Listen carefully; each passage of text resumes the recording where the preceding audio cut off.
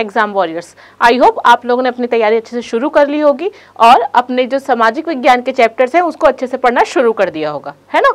तो चलो मैं Deepa Verma, Abhipsa education for excellence के इस ई लर्निंग क्लासेस के एग्ज़ाम सीरीज़ में आप सभी का स्वागत करती हूँ। ठीक है बच्चों? तो हम क्या कर रहे हैं? अपना एग्ज़ाम सीरीज़ मार्च मिशन है ना? मार्च मिशन पे निकले हैं, जिसमें अभी तक हमने तीन सिपाही अध्याय, है ना? इकाई एक के तीन सिपाही अध्याय को खत्म कर चुके हैं। मतलब उसमें हमने फतेह हासिल कर ली है। अब उसको बस एग्ज़ाम के दिन जाकर टिक टिक टिक टिक करके आंसर लिखने हैं, ठीक है? तो आज हम उसी अपने एग्ज़ाम सीरीज़ में आगे आए हैं मार्च मिशन की तैयारी में, ठीक है? तो ये हम अभी क्या करें? कक्षा दसवीं बारहवीं की बोर्ड परीक्षाओं की तैयारी कर रहे हैं। तो आज इस लेक्चर में हम क्या पढ़ेंगे? इकाई दो, प्रथम विश्व युद्ध जो आपका अध्याय सात है और कितने मार्क्स से क्वेश्चन आएँगे? यहाँ से डायरेक्ट चार। तो बताओ, इसको मैंने क्या कहा था? याद करो भाई, क्या कहा था? ये था हमारा राजा अध्याय मतलब एक किस बार वाला? एक मानना है और इसको खत्म करना है। मतलब एक बार पढ़ना है और एक बार क्वेश्चन एक क्वेश्चन सॉल्व करना है और चार मार्क्स अपने हाथों में। ठीक है ना? तो हमें वैसी तैयारी करनी है भाई। तो इस चैप्टर को हम कैसे डील करेंगे? कितने मार्क्स के लिए? चार मार्क्स है ना? कितने बार, कितने घंटे पढ़ना है? एक घंटे। काफ़ी है। इतना पढ़ लो, चार मार्क्स पक्के हैं, मैं बोल रही हूँ, ठीक है? तो चलो क्वेश्चंस को देख लेंगे समराइज समझ लेंगे कि एक्चुअली इस चैप्टर में पूछा क्या है। तो पहला क्या है भैया? प्रथम विश्व युद्ध। चैप्टर ही क्या है? युद्ध। और आप लोग क्या हो? मेरे एग्ज़ाम वॉरियर्स हो, है ना? तो आप लोगों के लिए यही चैप्टर है भैया। चलो, इसकी रणनीति देख लेते कि प्रथम विश्व युद्ध कैसे शुरू हुआ। युद्ध शुरू हुआ है, भैया, हमारा भी तो युद्ध चालू है, मार्च मिशन, है ना? उसकी तैयारी कर रहे हैं चैप्टर्स पढ़ रहे हैं, उससे रोज लड़ रहे हैं, मस्त मस्त प्रिपरेशन कर रहे हैं मैथ्स पढ़ रहे हैं सामाजिक विज्ञान पढ़ रहे हैं साइंस पढ़ रहे हैं। आई होप आप सभी सब्जेक्ट्स को इक्वली पढ़ रहे हो। और सेकेंडली आपको इंग्लिश पे बहुत अच्छे से ध्यान देना है बच्चे, है ना? जो आपको सर बताते जा रहे हैं ग्रामर पार्ट हो गया, आपके लेसन पार्ट हो गए ऐसे तो बहुत अच्छे से, अगर उसको आप सिक्वेंस वाइज करते जाओगे ना इंग्लिश पेपर बहुत ईजी होगा बच्चे, है ना? या आप अगर देख, आपको लगता है कि इस चीज़ पे टॉपिक पे बात की जानी चाहिए, मैडम? या क्या चीज़ें है, मैडम? कैसे पेपर लिखा? आपको जो भी डाउट है, आप कमेंट सेक्शन पे जाके हमसे जुड़ सकते हो, या आपने जितने भी क्वेरीज है, आपको जो मन में लग रहा है कि ऐसा कैसे किया जाए, क्या, जो भी है है ना, आप डायरेक्ट हम लोग को मैसेज करके बात कर सकते हो, ठीक है बच्चों? पूरी हम आपको जानकारी देंगे, ठीक है? चलो, अब अपना चैप्टर शुरू करते हैं, ठीक है? तो हमारा अध्याय कौन सा है? सात, क्या? प्रथम विश्व युद्ध, मेरे एग्ज़ाम वॉरियर्स करते एकदम आसान है है ना? कक्षा दसवीं सामाजिक विज्ञान, ठीक है, चलो। ये पूरे चैप्टर का रोड मैप की प्रथम विश्व युद्ध क्या क्या क्या क्या पढ़ना है, ठीक है? क्या? कैसे पढ़ना है? बाद में। पहले देख लेते हैं क्या पढ़ना है, ठीक है? तो पूरा चैप्टर प्रथम विश्व युद्ध के बारे में पढ़ रहे हैं। इसे विश्व युद्ध क्यों कहते हैं भाई? कि ये ऐसा क्या युद्ध था जो पूरे देश को लिया? तो जिसे हमने पूरा विश्व युद्ध बोला। एक, दो देश शामिल थे, पूरा एक महाद्वीप शामिल था, पूरे देश शामिल थे। ऐसा क्या था जिसकी वजह से हमने इसको प्रथम विश्व युद्ध कहा, ठीक है? प्रथम विश्व युद्ध की शुरुआत कैसे हुई? तो भाई चलो, इतने सारे देश क्या एक ही दिन तय किए ले होंगे कि आज के दिन तो हम सब के सब लड़ेंगे? नहीं। क्या ऐसे कारण हुए जिसकी वजह से इसकी शुरुआत हुई? या कौन सा ऐसा इंसिडेंट हुआ जिसकी वजह से इसकी पूरे प्रथम विश्व युद्ध की शुरुआत हुई? बताओ, कौन सा हुआ था भाई? याद है कुछ? पढ़े थे हम लोग? क्या था? जल्दी सोचो जल्दी सोचो। क्या था क्या था क्या था? ऑस्ट्रिया, हंगरी, राजकुमार की हत्या फिर इधर से जर्मनी, इधर से रूस, ऐसा ही कुछ हुआ था ना? याद आ रहा है? चलो चलो, याद आ जाएगा। ठीक है। जटिल अंतरराष्ट्रीय संधिया, जिन्होंने इस विश्व युद्ध की क्या की? अंडरग्राउंड काम करना शुरू कर दिया। मतलब ये चीज़ दिमाग में पहले ही बैठा चुके थे लोग कि विश्व युद्ध होगा। तो भाई, हम लोग को पता है था ना कि मार्ग पे अगर कुछ दो लोगों के बीच हो गया है तो वो बोलता है, उस दिन तो उसको मारने जाना है भाई। तू मेरे साथ देगा ना? तू मेरे साथ देगा ना? तू मेरे साथ देगा ना? हम क्या करते हम लोग तीन चार लोग मिल लेते अच्छा वो उस दिन तो मिले।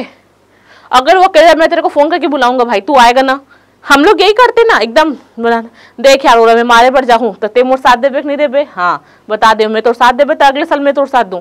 ऐसा चलता है ना तो वही इन देशों ने भी किया। जो हम सामान्य जीवन में करते ना, ये विश्व युद्ध वही सामान्य जीवन को, चीज़ों को लेकर चालू हुआ। चलो देखते हैं कैसे, ठीक है? फिर अति राष्ट्रवादी भावनाएँ और सैन्यवाद। हम सोचते हैं जैसे ना कि हमारा देश सर्वश्रेष्ठ है, हमारे देश को सुरक्षित करना है। तो उस टाइम क्या हुआ? हर देश वैसी ही चीज़ों पे लग गया कि अपने देश को सशक्त कर रहा है। अपने यहाँ देश में क्या वो बहुत ज़्यादा सैन्यवाद बढ़ा रहा है, सेना कर रहा है कि कुछ भी होगा। तो भाई, मैं तो तुरंत अपने सब लोगों को लेकर निकल जाऊँगा। इट मीन्स क्या? हर कोई युद्ध की तैयारी पहले से कर रहा है। मतलब सबको पता है कि युद्ध तो करना ही है। उस टाइम के जब उन्नीसवीं सदी के आप अंत को देखेंगे या बीसवीं सदी की शुरुआत को देखेंगे तो क्या था? वो अपने आप हर देश जो प्रतिस्पर्धा के दौर पे थे, वो तो अपने आप मान सकते थे कि भैया मुझे ऊपर जाना है तो क्या किसी को नीचे करना है? जब आप किसी को नीचे करोगे तो उसके में हीन की भावना आएगी। हीन की भावना तो क्या करेगा? वो आपको बदला लेगा। तो यही क्या हुआ था? चल रहा था साइकिल।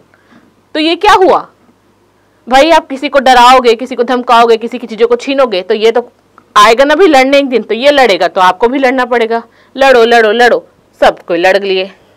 तो क्या हुआ? विश्व युद्ध ठीक है? प्रथम विश्व युद्ध एक्चुअल क्यों हुआ था? प्रथम विश्व युद्ध की घटनाएँ कैसे कैसे चीज़ें हुई? आपने इस चैप्टर में पढ़ा होगा।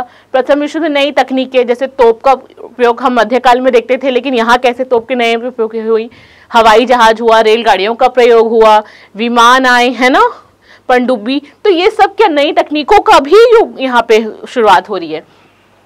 इसके प्रभाव क्या थे? उसके बाद क्या देखते हैं कि वर्षाई की संधि एक्चुअल क्या थी? जिसका इस चैप्टर में बहुत महत्वपूर्ण आपको देखने मिलेगा कि इस चैप्टर में क्या थी, थी वर्साई की संधि जैसे युद्ध की समाप्ति हुई और जो जीत जीते हुए राष्ट्र थे हरारे हुए राष्ट्र में उनके बीच क्या ऐसा इक्वेशन बैठा? ठीक है जो अगले विश्व युद्ध की तैयारी शुरू करवा दी ठीक है? और ये राष्ट्र संघ की स्थापना जिसने शांति के लिए एक संघ की स्थापना की गई थी कि जो ऐसी सिचुएशन दोबारा ना आए।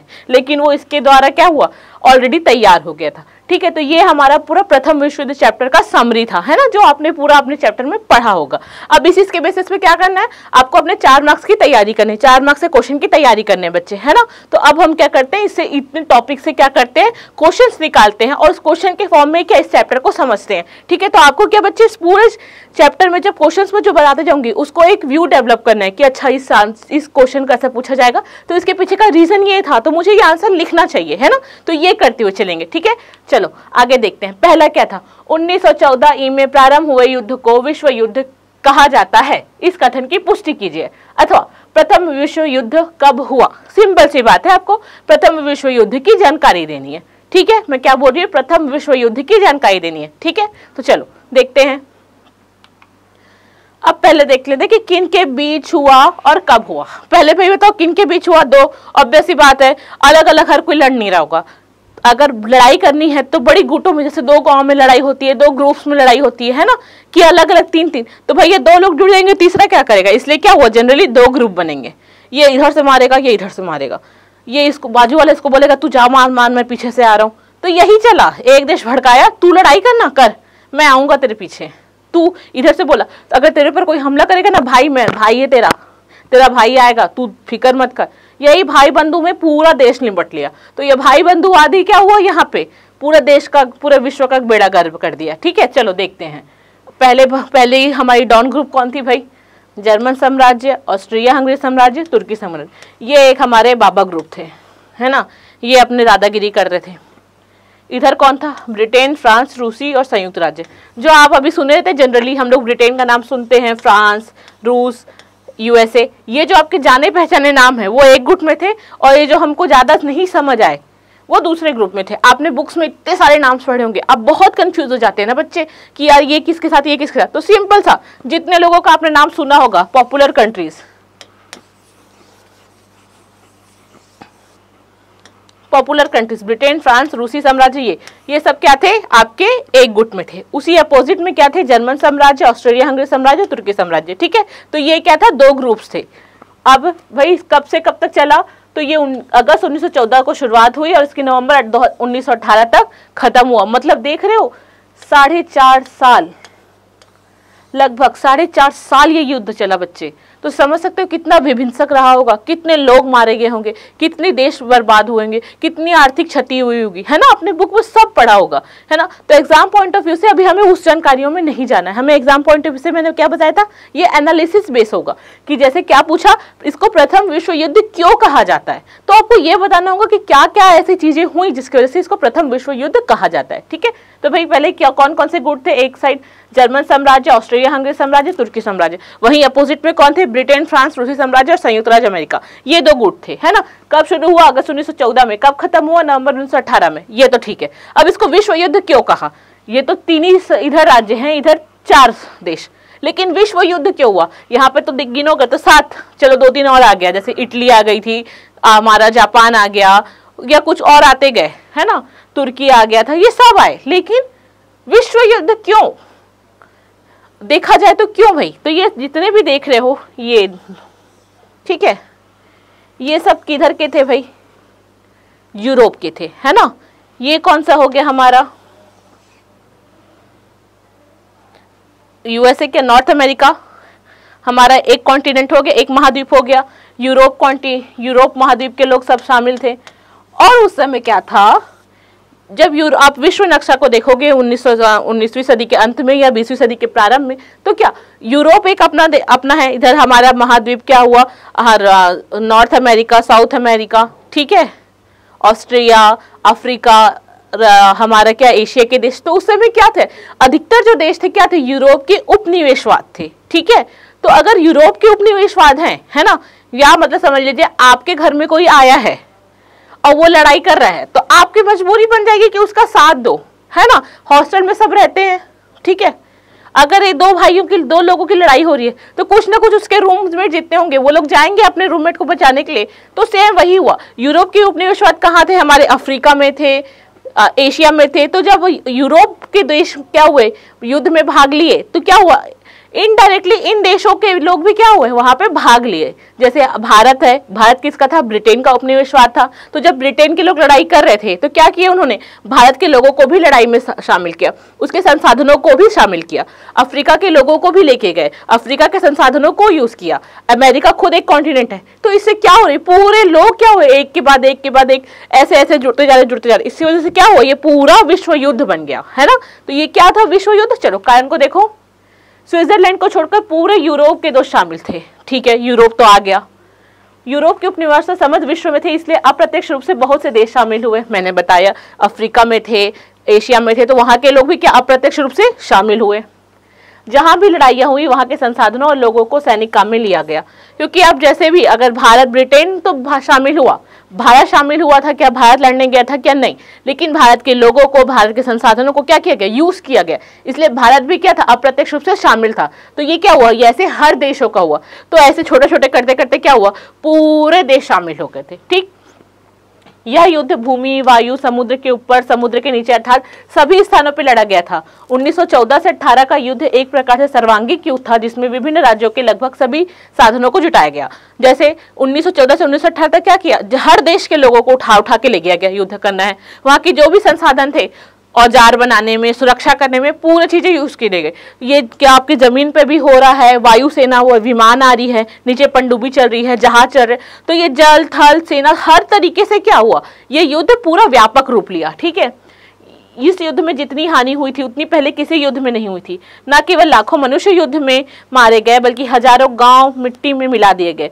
संक्षेप में इसके अभूतपूर्व फैलाव और इसकी सर्वागिक प्रकृति के कारण इसे प्रथम विश्व युद्ध कहा जाता है। ठीक है? ऐसा नहीं था कि पूरे पूरे हर देश शामिल था, लेकिन इसका प्रभाव हर देश में हुआ। वह कहीं किसी के गाँव बर्बाद हुए, कहीं पूरे पूरे लोग मारे गए, कहीं कुछ हर देश का संसाधन उपयोग कर लिया गया। इसलिए तो इसका जो प्रभाव है, वो पूरे विश्व पड़ा। इसीलिए इसको कहा, क्या कहा गया गया? प्रथम विश्व युद्ध कहा गया। है ना बच्चे? तो आपको ये पूरे कारण लिखने होगा कि यूरोप के क्या थे? उपनिवेशवाद थे। ये हर तरीके से लड़ा गया था। हर देश के संसाधन किए गए थे जल थल वायु के अंदर वायु जल में जल के अंदर हर तरीके से लड़ा गया था। इसलिए आपको इसको क्या कहना है? प्रथम विश्व युद्ध ठीक है? तो बच्चों अभी तक हमने पूरे विश्व युद्ध के कारण को समझ लिया है ना? अब इसके ले, आगे लेक्चर में हम क्या देखेंगे? विश्व युद्ध के अन्य का अन्य तथ्यों को देखेंगे कि वो विश्व युद्ध के क्या परिणाम हुए किस पर क्या प्रभाव पड़ा वर्षाई की संधि क्या थी राष्ट्र संघ की स्थापना। हम ये सब क्या अगले में देखेंगे ठीक है? तो बच्चों आपको इस एग्ज़ाम सीरीज़ के साथ हमसे साथ साथ जुड़े हुए रहना है और हर चैप्टर का एनालिसिस अच्छे से करते हुए पूरे आंसर्स की तैयारी करते रहना ठीक है बच्चों? तो हम अगले वीडियो में मिलते हैं इस चैप्टर के सेकेंड पार्ट के साथ। तब तक के लिए बेस्ट ऑफ़ लॉक और अपनी तैयारी अच्छे से आप करते रहें।